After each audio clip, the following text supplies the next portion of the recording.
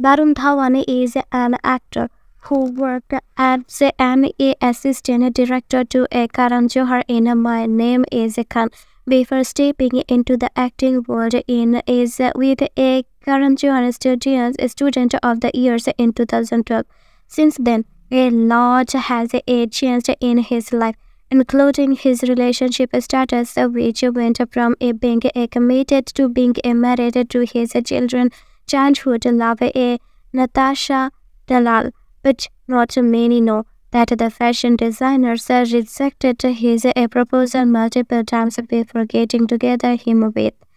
with him. And Varun Dhawan might have a